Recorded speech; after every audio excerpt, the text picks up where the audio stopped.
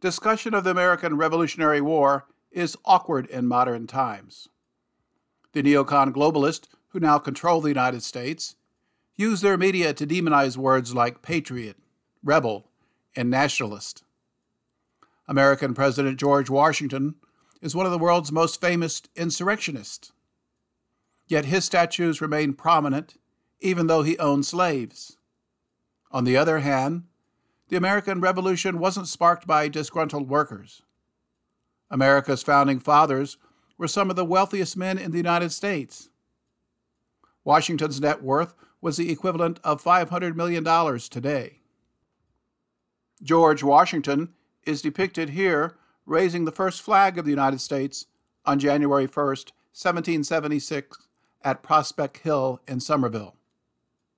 This Grand Union flag was identical to the flag flown by the British East India Company, the world's largest corporation. It was formed around 1600 to trade in the Indian Ocean region and gradually seized control of large parts of the Indian subcontinent, colonized parts of Southeast Asia, and founded Hong Kong.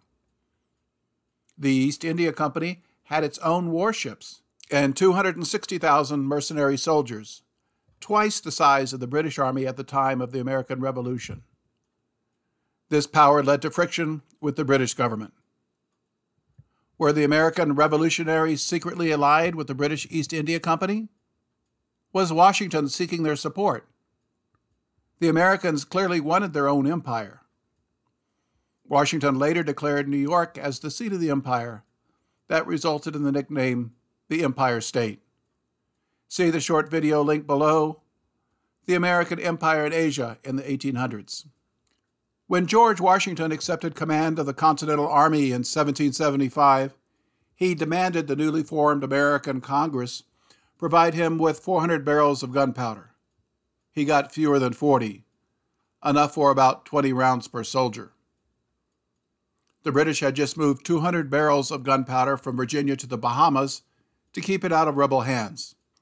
Esek Hopkins told Congress that he could lead a naval force to seize this gunpowder. Congress commissioned him as commander of the new American Navy. He took eight ships and 234 newly enlisted American Marines 150 miles to the Bahamas to surprise the British and seize the gunpowder. Hopkins' fleet departed Delaware on February 17, 1776, arriving at the Bahamas on March 1st.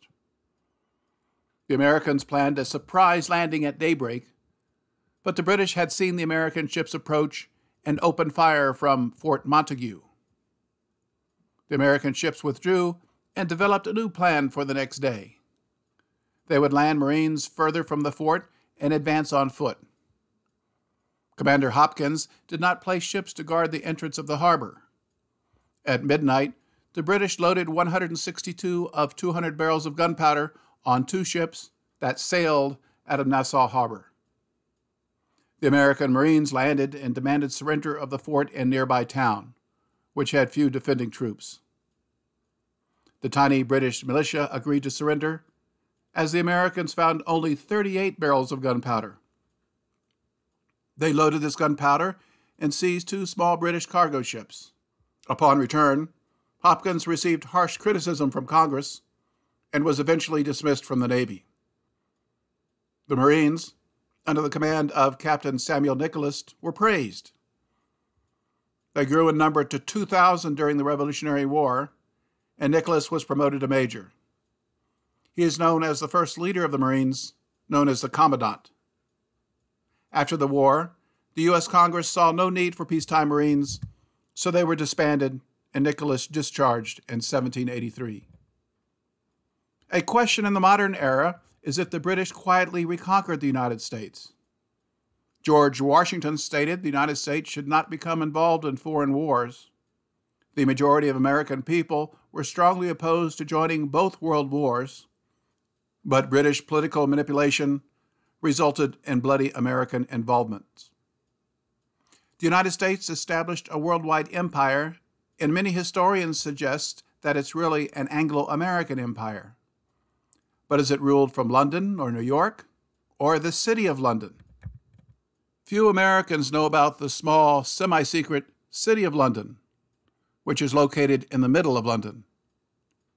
It is a corporation ruled by bankers that is mostly independent of Great Britain, with its own laws and police force.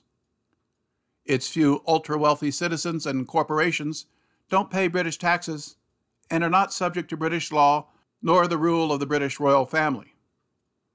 Here is a photo of England's then Prince Charles and the City of London's premier resident, Evelyn de Rothschild, with ultra wealthy Rothschild poking Charles in the chest. I posted the Wikipedia link for a generic overview of this little known world power complex where it is explained as simply a ceremonial county.